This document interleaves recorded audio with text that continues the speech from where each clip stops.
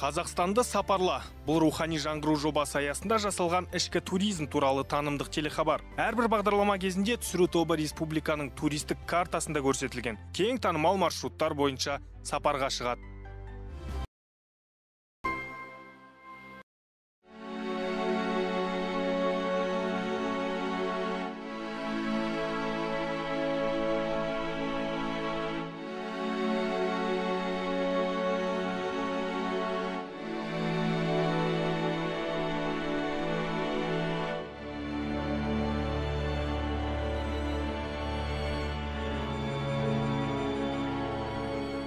Алжир десе көпшіліктің есіне бірінші болып солтүстік африканың шөлді даласында орналасқан мемлекет. Ал екіншілер үшін дәл мына мен тұрған жерде суық пен аштықта өмір сүрген балалар мен әйелдердің жағдайы еске түседі. Олардың бар кінәсі отбасы мүшелерінің репрессияға ұшырауында болатын. Тарихымыздың қаралы кезеңіне бүгінгі таңда тек қазақ елінің тұрғындарының ғана емес сонымен қатар шетелдік туристердің де қызығушылықтары артып келеді.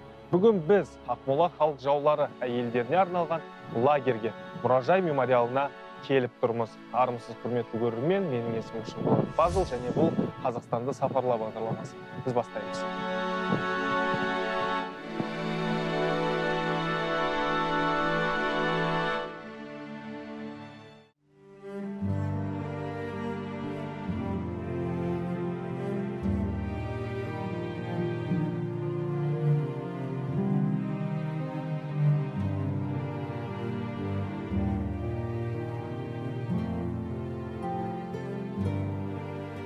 Саяси қуғын сүргін құрбандарына арналған алжир мұражай мемориалдық кешені 2007 жылдың 31 мамырында елбасы нұрсұлтан назарбаевтың бастамасымен ашылған болатын. Ол ақмол ауылында орналасқан кезінде бұл жер 26 нүкте деп аталатын. Музей кеңес одағындағы жаппай саяси қуғын сүргін басталғанына тура 70 жыл болғанда ашылды.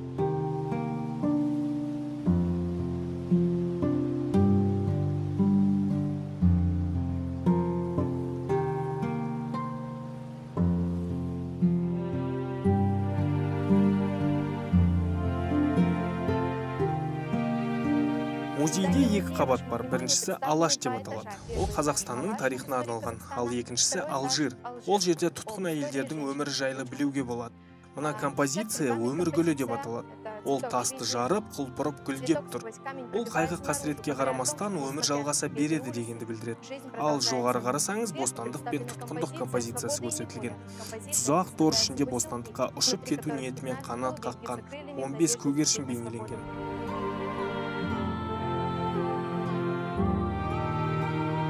Алжир қарағанды лагерінің бір бөлігі болған. Ол еңбекпен түзеу занова алжир қарағанды лагерінің бір бөлігі болған. Ол еңбекпен түзеу лагерлерінің бас басқармасы яғни гулагтың құрамына енген. 1980 жылдардың соңына дейін гулаг бойынша ресми статистика құпия сақталды. Сондықтан зерттеушілер қарапайым мәліметке қол жеткізе алмай қиналатын. Ал мұражаттар ашылған кезде жан түршігерлік ақпарат белгілі болды. 1930 жылдан 1956 жылға дейін мұнда екі жарым миллион адам қамауда болған.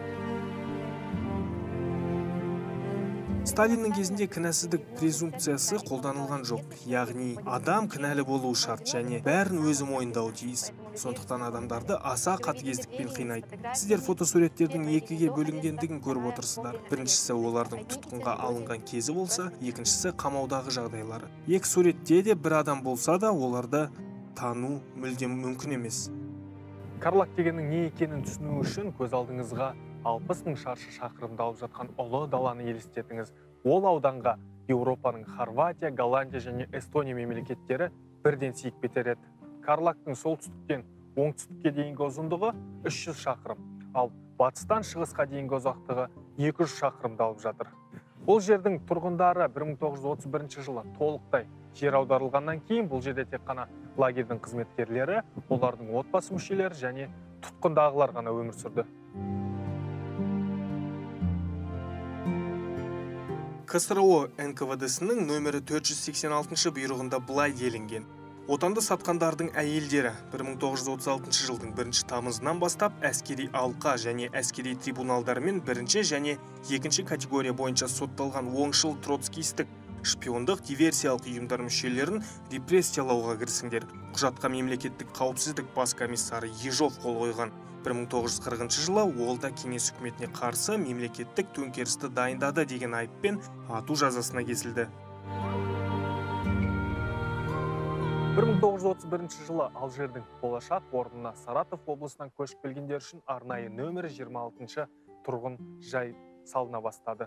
Кейініректе ол жерге кеңес одағының бүкіл өңірлерінен тұтқындарды алып келе бастады. 1938 жылы сталиндік репрессияның қызған шағында дәл осы жерде 8 мыңға жуық әйел тұтқында болды. Ал оның төрт жарым мыңы халық жауының отбасының мүшелері. Айтпақшы осы жерде көптеген сәбилер дүниенің есігін ашқан. Себебі алғашқы жылдардың өзінде екі мыңға жуық әйел жерде тұтқында отырып оның алты жүзі екі қабат болатын.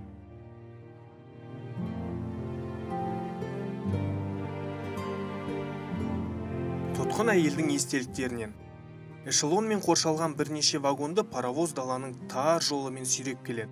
Күннің көзі жап жарық темір тор бекітілген вагон терезесінен қар басып жылтырап жатқан далаға қарау қиын. Паровоз кенет жұлқынған кезде бірнеше иттерді жетелеген күзет адамдары пайда болды. Біздің ұзақ жолымыздың аяқталғанын осы кезде түсіндік. Бұдан кейін бәрімізге таныс тәртіп басталды. Вагон есіктері кілттерінің даңғыры естілді. Бәрімізді бір бірден шақыра бастады.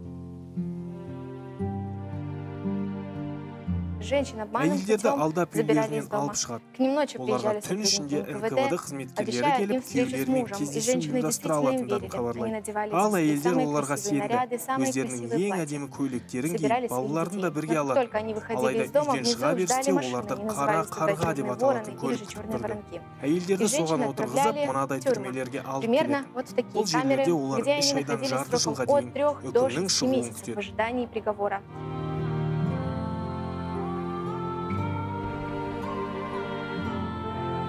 Репрессия жылдарында халық жауларының отбасы мүшелерін бас бостандығынан 5 жылдан 10 жылға дейін айыратын немесе сібірдің алыс бұрыштарына дәл сол мерзімге аттандыратын. Ақмола өңірінің өзінің атауы айтып тұрғандай бұл жердің қысы өте қатал өтеді. Соған қарамастан бұл жерге түскен әйелдер мен балалар өздерінің жандарын алып қалу үшін бәріне дайын болған. Алжирдегі жағдай мен тұтқындарды ұстау тәртібінің карлактағыдан еш айырмашылығы болмады. Бірақ бастапқыда мұнда ерекше лагерь бөлімі жұмыс істеген. Алжирге алғашқы этап 1938 жылдың қаңтар айында басталды. Келген әйелдер жататын орын болмағандықтан өздеріне өздері арнап барактар сала бастады.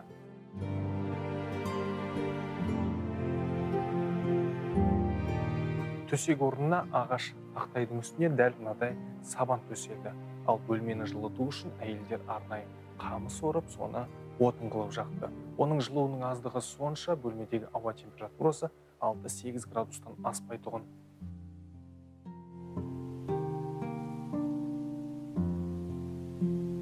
тамақ аса мардымсыз болатын. Күніне бір тілім қара нан бір ожау көже мен бірнеше қасық суда пісірілген ботқа берілді. Қақаған қыстан соң көктем және 40 градустық аптап ыстығы мен түрлі жәндіктерге толы жаз келетін және күн сайын бәсеңдейтін түрі жоқ жел соғып тұрады.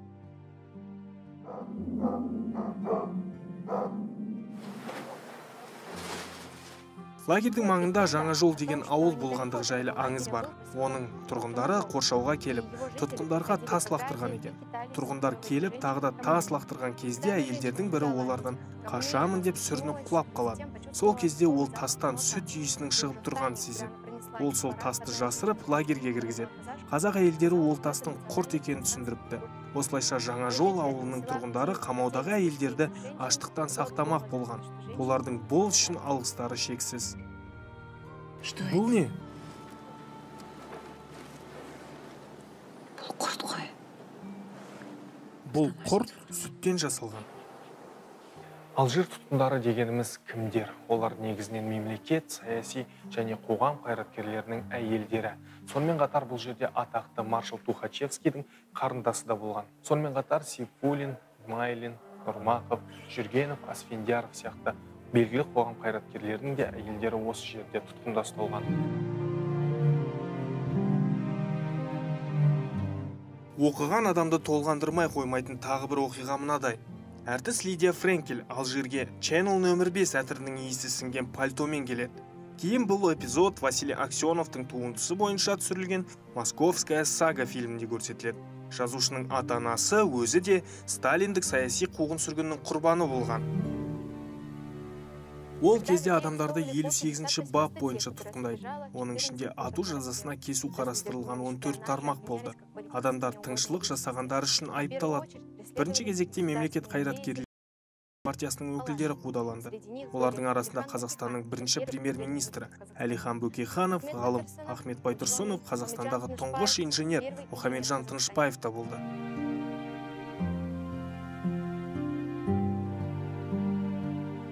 Атылған белорус ақыны тодар кляшторныйдың әйелі алжирге төрт айлық қызы майямен бірге келді. Интернатта майя тұрар рысқұловтың қызы ритамен көрші болады кейін майя рита екеуміз тірі ме екендігімізді тексеру үшін бір бірімізді түртіп көретінбіз деп еске алады мұндай оқиға қаншама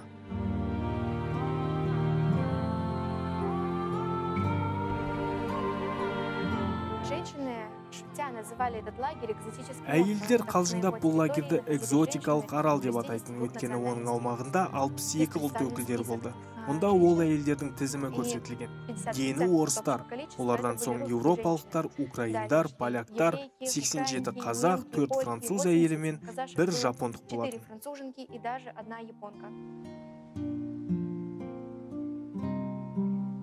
бір мың тоғыз жүз отыз тоғызыншы жылдың мамыр айынан бастап халық жауларының әйелдеріне қарсы күрестер тоқтап олар арнайы режимнен жалпы режимге ауысты. Соған орай біраз жеңілдіктер жасалып тіптен оларға хат алмасуға да рұқсат етілді. Сол кезде ғана өздерінің күйеулері мен балаларының бастан кешкен оқиғалары жайлы біліп тіптен туған туысты көруге деген үміттің бәрі сөнді деуге болады үш жасқа дейінгі балалар да осы лагерьде болатын. Бірақ балабақша деп аталады тұрады. Оларда тұтқын әйелдер бақты. Жұмыстан кейін аналары балаларын көруге барып тұрды. Бірақ балалар үш жасқа толған соң оларды балалар үйіне алып кететін. Тәртіп бәріне бірдей болды. Ал тұтқындау кезінде жасы үштен асқан балалар болса оларды аналарынан бірден айыратын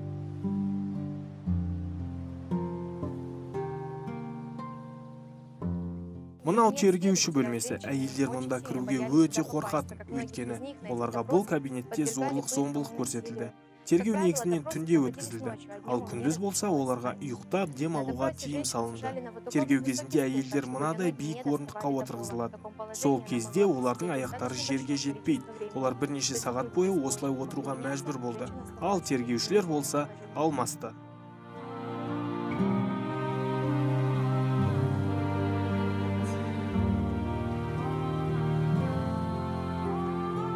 Жан түршігерлік жағдайда ұсталған әйелдер ешкінәсіздігіне қарамастан ауыр жұмысқа жегілді. Кейінірек сол ауыр жұмыстың арқасында бұл жер пайда әкелетін шаруашылыққа айналып өндіріс бойынша карлак бөлімшелерінің арасында кейініректе ұлы отан соғысы жылдарында әскерді қажетті киіммен қамтамасыз етті.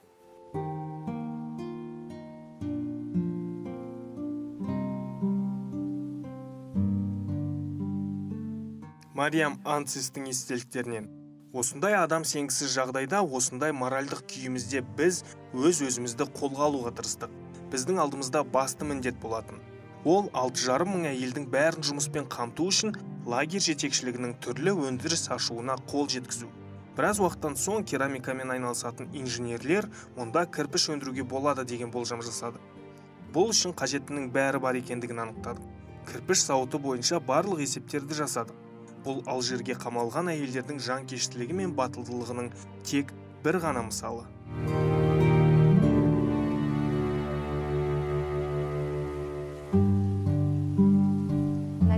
Территории они наладили производство. Әйелдер бұл жердегі өндірісті жолға қойды. Өз қолдарымен арықтар мен бау бақшаға арналған жерді қазып, жеміс жидек екті.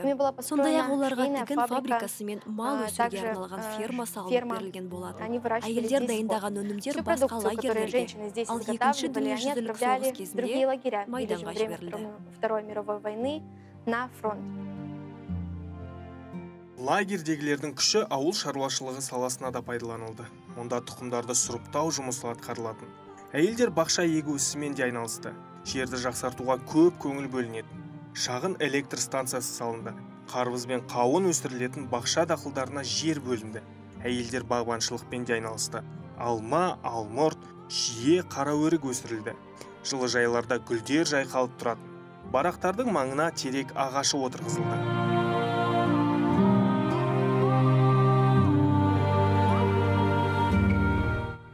Мал мен құс шаруашылығының жұмыстары да дәл осы әйелдердің мойнына жүктелді уақыт өткеннен кейін олар арнайы фермалар салып құс инкубаторы мен мал емдейтін орындардың жұмыстарын жүргізді. Ал жерде өндірілген өнімнің барлығы дерлік карлыққа арналатын. Ал біздің білуімізше карлықта сол сәтте өлім деңгейі өте жоғары. 1940 пен 50 жылдардың арасында карлықтағы өлім саны 10 мыңға жетті. Мүмкін дәл осы әйелдердің еңбегінің арқасында көптеген ер азаматтар аман қалған болар.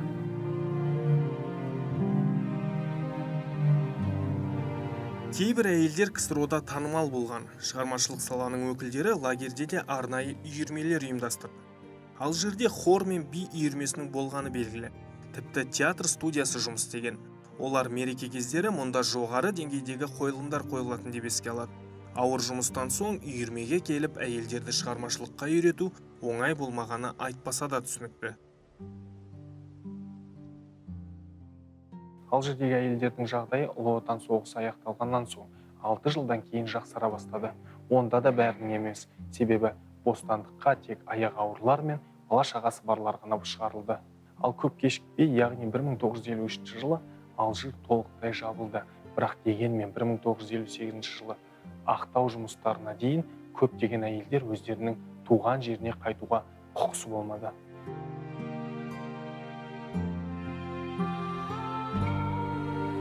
Репрессия әйелдер бостандыққа шыққаннан кейін де тоқтаған емес. Өйткені олардың төлқұжаттарына үлкен қалаларға кіруге тиым салынған белгі қойылды. Сондықтан көбі қазақстанда қалған. Және де мұндай белгімен жақсы жұмыс табу мүмкін емес болады ал жерде болған әйелдердің балалары да көп уақытқа дейін жақсы оқу орнына түсу қызметке орналасу мүмкіндігінен айырылды. Өйткені оларды халық жауының баласы деп білетін. Сансыз шектеулер жасалды. Бұл жағдай тек саяси қуғын сүргін құрбандарын ақтағаннан соң ғана өзгерді.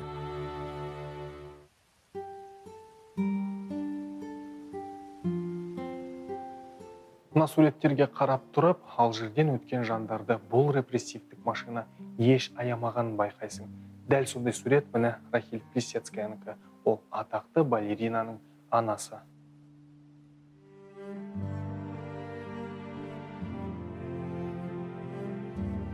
Алжир жабылған соң мұнда ксро барлық елдерінен тың игерушілер келе бастады. Бастапқыда олар лагерьдің барақтарында тұрған. Әрине ол кезде мекемені қоршаған сымдар алынып тасталды. Онда ескі ғимараттарды бұзып жаңасын салғанда адам денелері табылған. Осы жерде қалған бұрынғы тұтқын әйелдер оның лагерь болғанын айтқан. Олар бұл лагерьді жердегі тозақ деп атайды.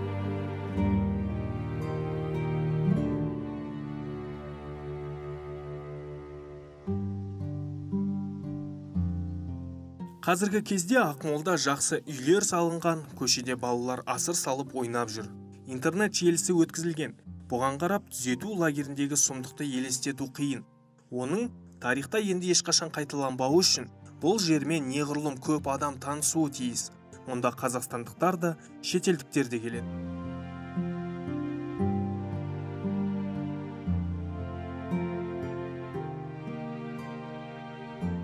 Ақмола халық жаулары әйелдерінің лагері орналасқан жер әлі сталиндік репрессияның кезіндегі жауыздықты ұзақ уақыт есте ұстайтын болады. Ал туристерге ол жайлы менің артында тұрған қара мәрмәр тасқа қашалып жазылған есімдер айтатын болады. Оның әрқайсысы жеке трагедия. Мұндай оқиға енді ешқашан қайталанбаса екен дейміз. Сіздермен бірге болған мен шынболат пазыл және қазақстанды сапарла бағдарламасы. Қош сау болыңыздар.